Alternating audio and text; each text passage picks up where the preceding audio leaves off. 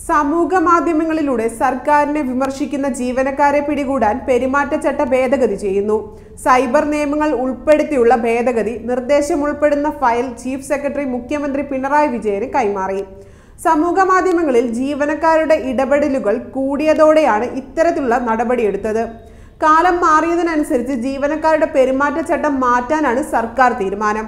സമൂഹ മാധ്യമങ്ങളിലൂടെ സർക്കാരിനെ വിമർശിച്ച് സർക്കാർ ജീവനക്കാർ കൂടുതലായതോടെയാണ് ചട്ടം ഭേദഗതി ചെയ്യാൻ തീരുമാനിച്ചത്. സർക്കാർ ജീവനക്കാരുടെ പെരുമാറ്റച്ചട്ടം നിലവിൽ വന്നത് ആയിരത്തി തൊള്ളായിരത്തി അറുപത്തി എട്ടിലാണ് അന്നത്തെ നിയമത്തിൽ സൈബർ നിയമങ്ങൾ ഉൾപ്പെടുത്തിയിരുന്നില്ല.